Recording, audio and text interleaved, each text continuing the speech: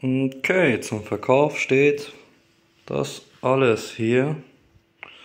Gehen wir mal Stück für Stück alles durch.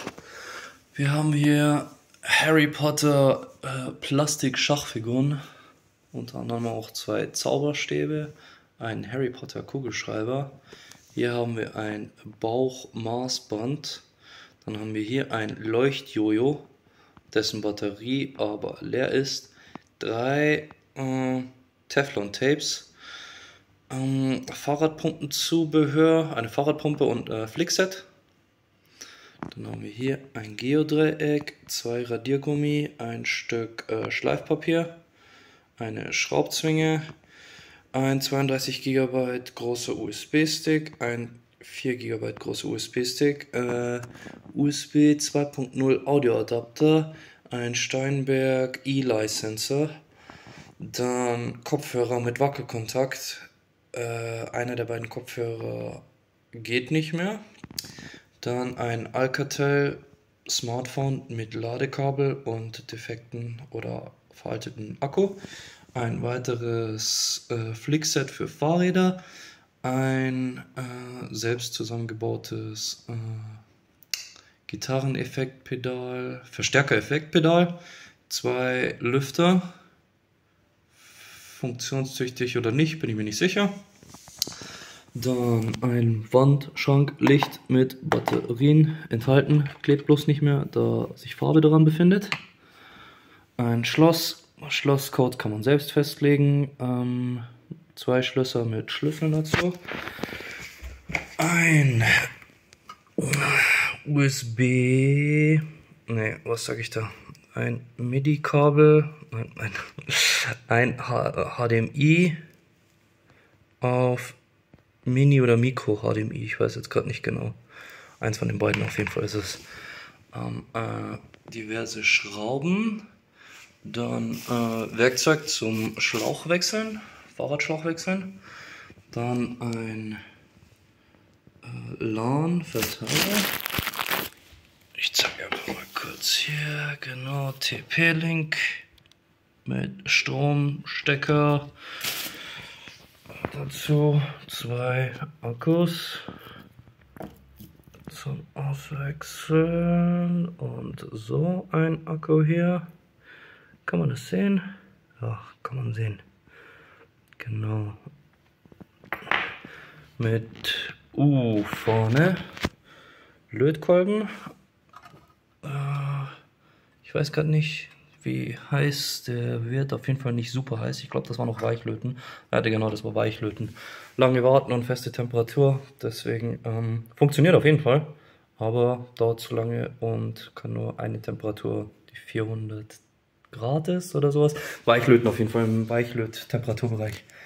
Dann dazu Weichlöt-Flussmittel. Kaum benutzt.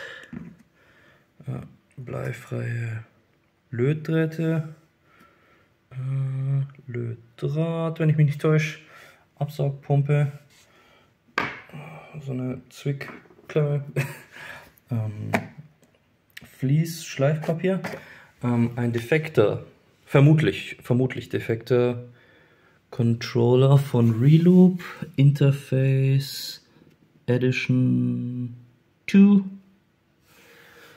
Ähm, nur das USB-Kabel mit dabei. Software und Stromkabel nicht enthalten. Diverse Potis fühlen sich durchaus abgenutzt an, hat unter anderem diverse ähm, Schleifspuren hier und da. Ähm, dann haben wir Multi-Strom-Adapter-Kit, zwei Batterien von, ähm, genau, so das ja, 2025er Batterien CR 2025. Genau. Ähm, leicht angerostete Bits. Dann äh, hier haben wir in der Folie ein Regenponcho und dazu zwei Gummischuhe extra. Sehr gut beim Regen, äh, beim Fahrradfahren im Regen. Da Füße und Körper ansonsten trocken bleiben, außer es spritzt halt wirklich überall hin. Vielleicht noch eine Regenhose dazu holen, dann ist eigentlich alles perfekt. aber Oberkörper und Füße sind damit bedeckt. Und dann haben wir hier, was haben wir hier, was haben wir hier, was haben wir hier? Eins, zwei, eins, zwei, drei. Wir haben eins, zwei, drei, vier, fünf, sechs, sieben. Ich glaube, das sind circa zwei Meter.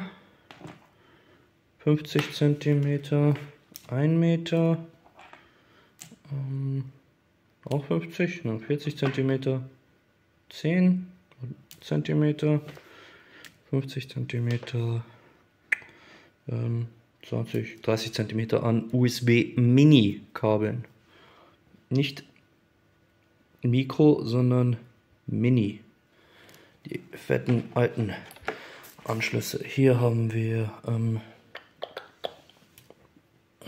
Mini, warum auch immer das da war.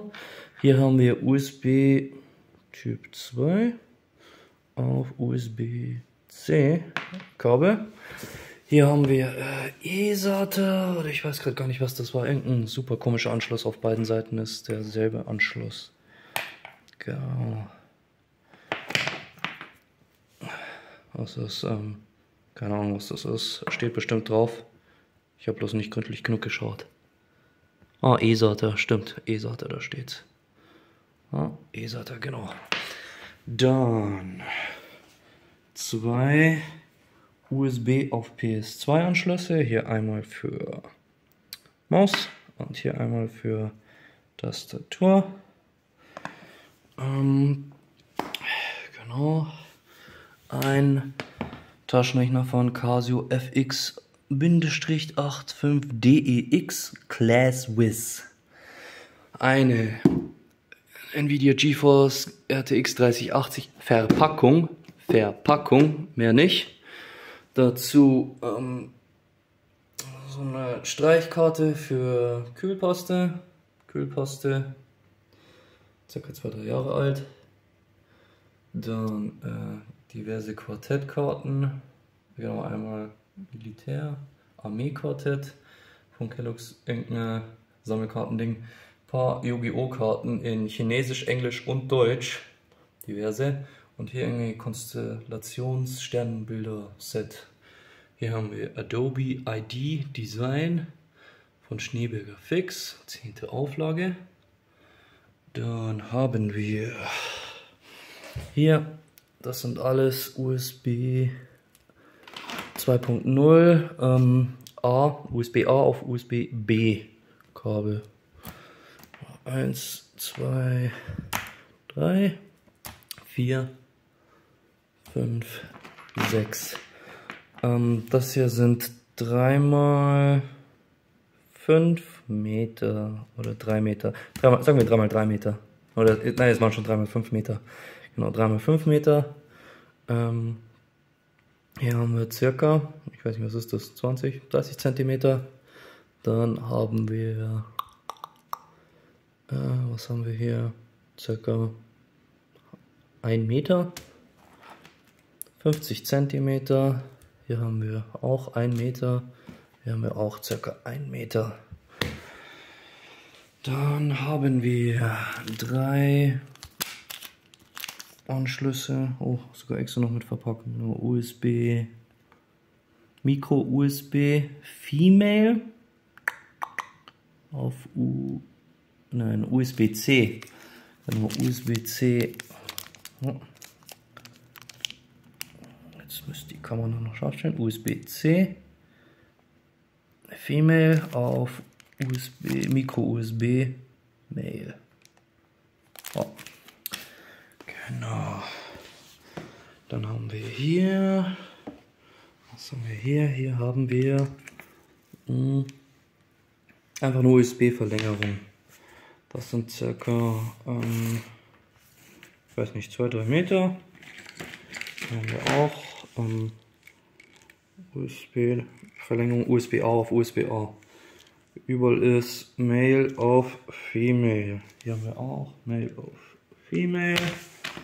Hier haben wir ca. 1 Meter, Male oder Female. Um, was müsste ihr dort dazu? denkt man, man hat perfekt aussortiert, man doch nicht perfekt aussortiert. Hier haben wir circa 2 Meter, würde ich mal schätzen. Hier haben wir auch circa 1,5 Meter. Hier haben wir einen halben Meter, angeblich sogar USB 3.0. Wenn man nach der Farbe gehen darf, in diesem Fall, was ja nicht, nicht jedes Mal stimmt, haben wir auch circa 2-3 Meter. Alles USB-Verlängerungen. Okay. Dann kommen wir zu sehr kurzen Verlängerungen. Und zwar, was ist das? Das ist einfach nur Male auf Female USB, zweimal.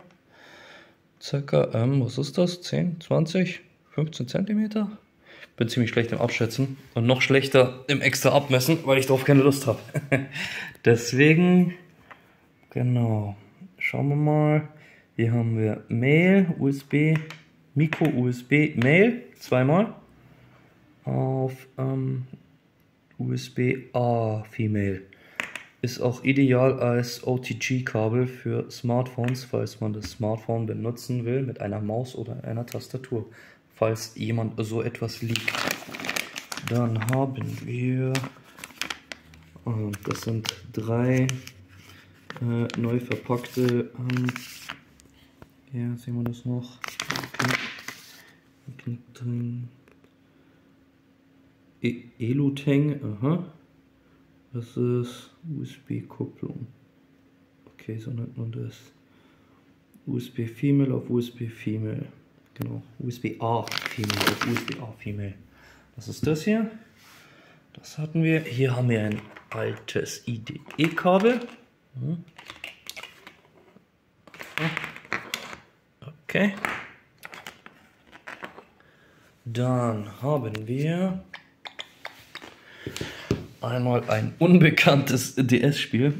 So. Sehen wir hier einmal. Mal Position zur Seite wechseln. Dann kann ich besser im Licht rumstehen. Was haben wir einmal hier? Ein USB-Hub, circa 20 cm lang, von, ich glaube, Vivenco. Vivanco, das war's. Dann, dann, dann, dann haben wir das sind alles Micro-USB-Kabel. Alles Micro-USB. Schauen wir mal nach. Okay. Okay, okay, okay, okay, okay. Okay. Schön zusammengerollt, sauber, einzeln, damit sich alle trotzdem zusammen verhaken. Uff, heilige Mutter Gottes. Hier haben wir auf jeden Fall einiges einiges. Das noch und das noch. Hier haben wir einmal, ähm, ich glaube, das sind 5 oder 10 Meter, wenn ich mich nicht täusche. Das sind auch dann 5 oder 3 Meter.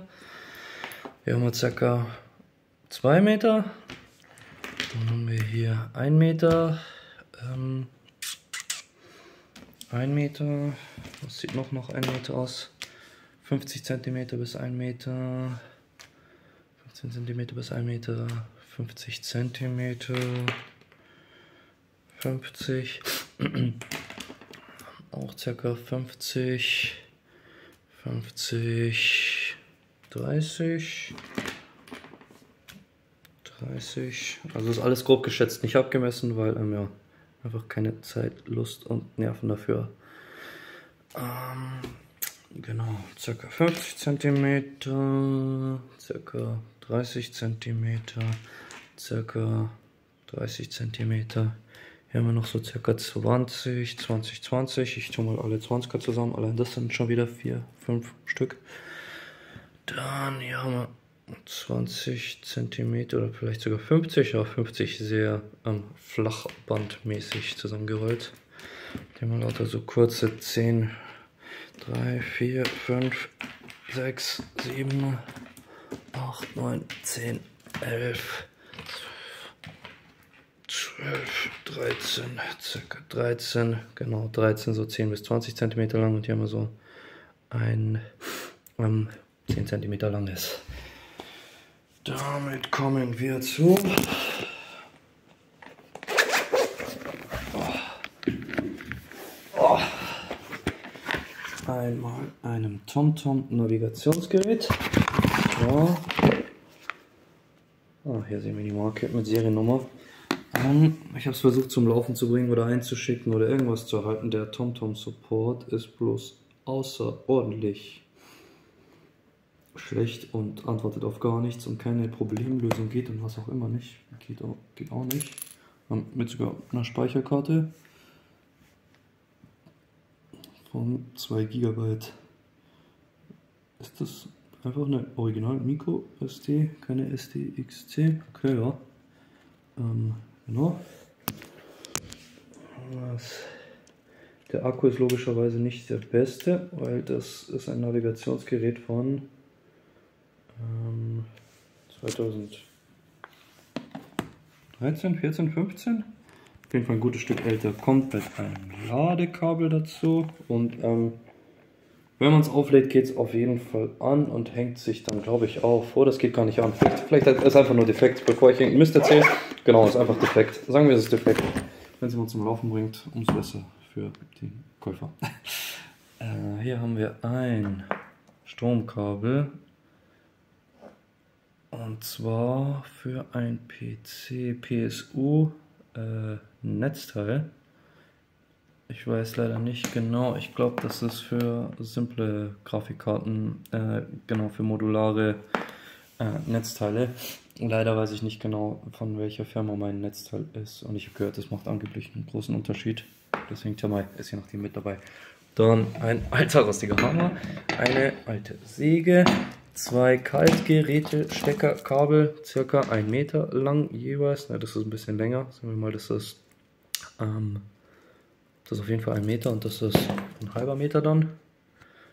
Okay. Dann haben wir, haben wir, haben wir, hier haben wir USB-C 1, 2, 3, 4, 5, 6, 7. 7 USB-C-Kabel. Hier sehen wir 5 Meter. Ich schätze mal, das ist dann 1 Meter. Das müsste dann auch circa 1,5 Meter sein. Halber Meter vielleicht. Hier mit 10 bis 20 Zentimeter. Dann haben wir hier ein USB-C Hub. Äh, auch ideal für Handys als OTG-Kabel, falls man Maus und Tastatur und eine Festplatte und was weiß ich noch. Ähm, vielleicht eine ähm, ähm, Kaffeetassenerhitzer anschließen will, zugunsten der Smartphone-Batterie. ist ja alles machbar.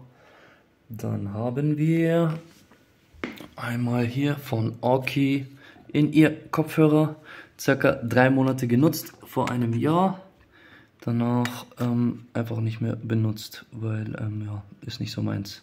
Für ca. 40 Euro neuwertig gekauft, wenn ich mich nicht täusche. Sehen wir hier noch irgendwas? Ähm, die Kamera zeigt das leider nicht, aber da steht. Was steht da? Ähm,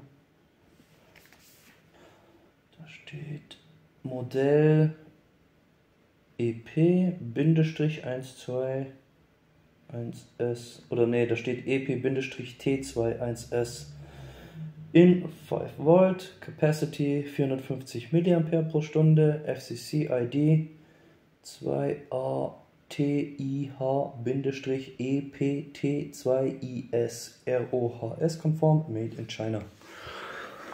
Dann haben wir, was haben wir da noch? Wir haben eine Webcam ähm, mit starkem Kabelbruch, von Microsoft. Dann haben wir eine weitere Webcam, dieses Mal sogar mit Modellnamen dran. Hier sehen wir, was sehen wir hier? Microsoft Livecam HD 3000 mit Produkt-ID. Auch ein gutes Stück älter. Eine Schutzbrille stark benutzt. Ähm, eine Wasserkühlungsblock mit Aktiv- und Passivkühler am Set dran. Passivkühler Fins. Ähm, eigentlich funktionsfähig, wenn ich mich nicht täusche. Ich bin aber auf äh, Aktiv-Passiv-Kühler klassisch umgestiegen, weil ich glaube, es hat gerumpelt und ich glaube, das war das Problem. Ich bin mir nicht sicher. Tun wir einfach mal so, als wäre es defekt, okay? Und ähm, hier haben wir das dazugehörige USB Powerkabel, was am Motherboard hier rankommt. Und das wird dann an der Pumpe angeschlossen und das hier glaube ich auch. Hier ist irgendwo der Pumpenanschluss einmal und ähm, ja, sonst noch irgendwie. Ähm, ja, dann bleibt noch, dann haben wir hier 3,5 auf 3,5 Klinkenanschlüsse dreimal. Okay. Einmal halben Meter, 3,5 auf 3,5 Mail zu Mail, nochmal halben Meter, hier 10 bis 20 Zentimeter circa. Hier haben wir ähm, einen 2 zu 1 Anschluss, Female zu Mail, 3,5. Dann haben wir hier noch circa 20 cm langes Kabel in der Richtung 3,5 hier 10 cm circa. Dann haben wir hier diesbezüglich ähm, was haben wir hier 3,5 Female auf 6,3 ähm, jeweils Male. Okay, ich weiß nicht, ob das dann links und rechts ist oder mono, monomäßig aufgeteilt ist. Keine Ahnung. Ähm, hier haben wir auch nochmal 3,5 Male auf 6,3 Female. Dann haben wir hier 3,5 Male auf Chinch Female. Dann haben wir hier dazu zwei Chinch Females auf 3,5 Male sowie 3,5 Male auf Chinch Male sowie Chinch Male auf 3,5 Female. Das ist dann von der Seite. Kommen wir zum letzten großen, obwohl fast, fast sind wir da.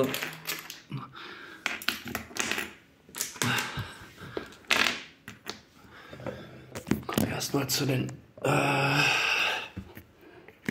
äh, Ladestationen für wiederaufladbare Batterien mit USB-Kabel dazu. Leider fehlt mir der Stromstecker dazu. Dann ein Toslink-Kabel oder Spiff. Spiff, wenn ich mich nicht täusche. Oh, circa eineinhalb Meter lang. Ja, das ist dieser, wenn ich mich nicht täusche, war das 5,1 Digitalanschluss, der stark gefloppt ist und mit der PlayStation 2, wo Sony versucht hat, mit der PlayStation 2 einzuführen.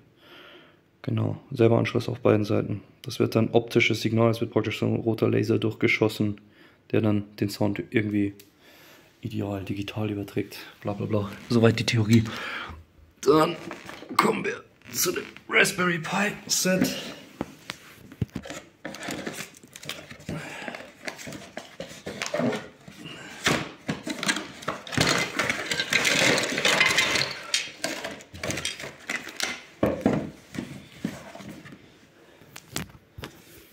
Hier haben wir einmal ein Raspberry Pi B2, wenn ich mich nicht täusche.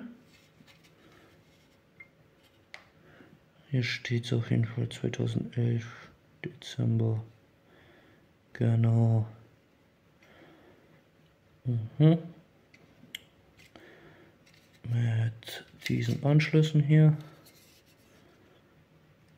Okay.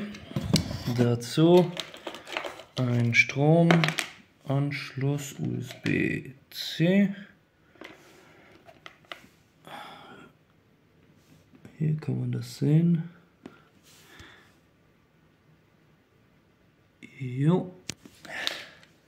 Genau, von Lebist. Äh, Plastik-Casing. Eine Treiber-CD und ein Handbuch für ein USB äh, WLAN-Stick, Aktiv-Passiv-Kühler, allgemein weitere frisch verschweißte Bauteile diesbezüglich. Okay. Dann Tabellenkarte mit extra Casing hier. Ähm, Micro-USB-Kabel circa 1 Meter lang. Weiteres Plastikteil. Ein Kühler mit zwei, drei Pins. Extra Adapter für Speicherkarten 8 GB. V-Data für Raspberry Pi SDHC formatiert. 16 GB Panasonic SDHC Klasse 10 mit Schreibschutz, allerdings USB-Kabel, eine kleine Schraube, ein Schraubenzieher, Kreuz, zwei Anhaftpads für Kühlung. Okay.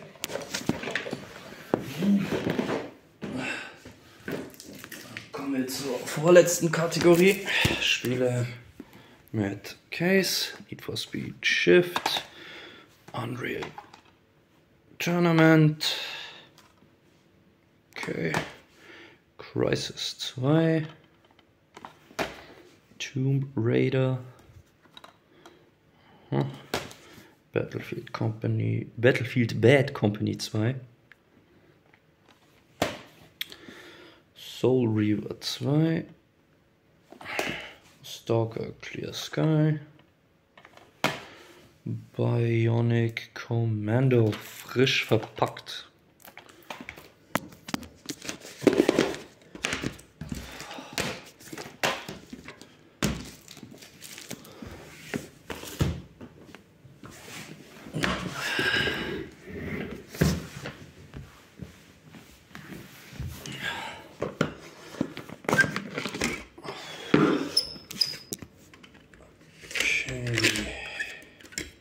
Hier haben wir.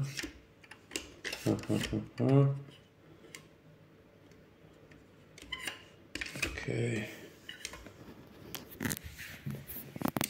Diverse Spiele, CDs und DVDs und Demos und was weiß ich alles. Das Problem ist, bei manchen sind Serial Codes dabei. Toy Story 2. Toy Story 1. Kennst du das? Driver. Computerspiele 05 2006. Computerspiele November 1990. Kleines bisschen älter. Mhm. DVD mit American Conquest. Computerspielausgabe 2005. Juli. Computerspiele Februar 2007, Oktober 2005, März 2001, Februar 2007, Turok 2, Turok 1, Shadowbounds CD1, Shadowbounds 2, Sea Dogs, Helikopter, Computerspiele, auch 99, okay. Dann haben wir hier Februar 2006, Mai 2008, Dezember 2004, Oktober 2000, Juli 2007, September 2005, Januar 2007, Dezember 2005, August 2005, November 2001, ähm, Juli 2006, August 2006, Kommandos, Play the Game Volume 3, hinter feindlichen Linien, Nuclear Strike 95, Microsoft Fury 3 Carry the World in Your Sights.